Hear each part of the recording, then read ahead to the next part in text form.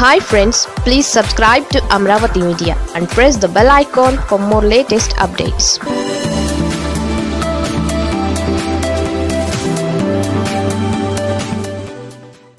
Modi సమక్షంలో విశాఖ రాజధానికి జగన్ ముహూర్తం.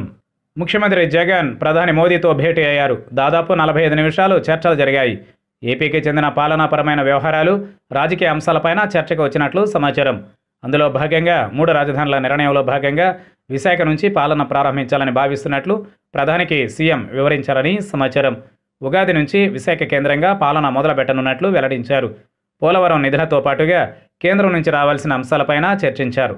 ఏపీలో రెండు వేల పద్నాలుగు తరహా పొత్తుల అంశంపైన చర్చకు వచ్చినట్లు చెబుతున్నారు. పూర్తిగా సహకారం అందిస్తామంటూ సీఎంకు హామీ దక్కినట్లు తెలుస్తోంది. మూడు రాజధానుల వ్యవహారం ఇప్పుడు సుప్రీంకోర్టులో పెండింగ్లో ఉంది. అయితే ముఖ్యమంత్రిగా రాష్ట్రంలో ఎక్కడి నుంచైనా పాలించే అవకాశం ఉపయోగించుకోవాలని సీఎం జగన్ భావిస్తున్నారు.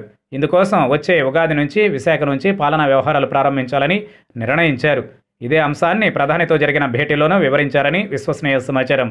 రాష్ట్ర విభజన నాటి పరిస్థితులు తిరిగి ఏపీలో రాకుండా ఈ నిర్ణయం తీసుకున్నట్లుగా చెప్పారని తెలుస్తోంది.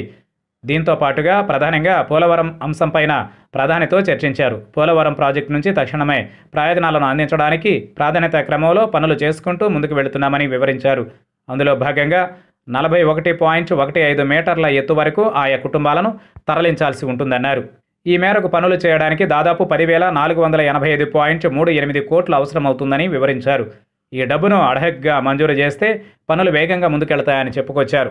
తెలంగాణ డిస్కెమ్ల నుంచి రావాల్సిన ఆరు వేల ఎనిమిది వందల ఎనభై ఆరు కోట్ల కరెంటు బకాయిలను వెంటనే ఇప్పించాల్సిందిగా ప్రధానికి ముఖ్యమంత్రి వివరించారు. కష్టాల్లో ఉన్న ఏపీ జన్కోకు ఈ బకాయిలు అవసరమని చెప్పుకొచ్చారు. గత ప్రభుత్వం పరిమితికి మించి అధికంగా చేసిన రుణాలను ఈ ప్రభుత్వంలో సర్దుబాటు చేస్తూ కేంద్ర ఆర్థిక శాఖ రుణాలపై పరిమితి విధిస్తోందని గత ప్రభుత్వం పరిమితికి మించి అధికంగా చేసిన రుణాలను ఈ ప్రభుత్వంలో సర్దుబాటు చేస్తూ కేంద్ర ఆర్థిక శాఖ రుణాలపై పరిమితి విధిస్తోందని ప్రధానికి వివరించారు. కేటాయించిన రుణ పరిమితిలో కూడా కోతలు విధిస్తోందని చెప్పారు.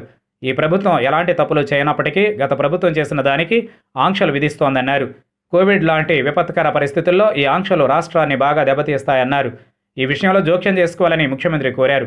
ప్రపంచవ్యాప్తంగా కోవిడ్ తాజా పరిణామాల నేపథ్యంలో ఎలాంటి పరిస్థితినైనా ఎదుర్కొనేందుకు సన్నద్ధంగా ఉన్నామని ప్రధానికి ముఖ్యమంత్రి వివరించారు.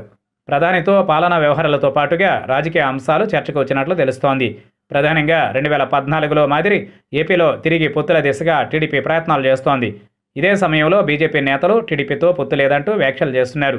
ఇక ఏపీలో నెలకొన్న ప్రస్తుత రాజకీయాలపైన వీరిద్దరూ చర్చించారని చెబుతున్నారు. కడపలో నిర్మించనున్న స్టీల్ ప్లాంట్కు సరిపడా ఖనిజాన్ని అందుబాటులో ఉంచడానికి ఏపీ ఎండీసీకి గనులు కేటాయించాలని ముఖ్యమంత్రి కోరారు. విశాఖలో డెబ్బై ఆరు పాయింట్ తొమ్మిది కిలోమీటర్ల మేర మెట్రో రైలు ఏర్పాటుకు సంబంధించి ఇప్పటికే డిపిఆర్ను సిద్ధం చేసి కేంద్ర ప్రభుత్వానికి సమర్పించామని వివరించిన ముఖ్యమంత్రి ఈ ప్రాజెక్టుకు కావలసిన సహాయ సహకారాలు అందించాలని కోరారు. ముఖ్యమంత్రి చెప్పిన అంశాలపైన ప్రధాని సానుకూలంగా స్పందించినట్లు తెలుస్తోంది. పూర్తి సహకారం అందిస్తామని హామీ దక్కినట్లు సమాచారం.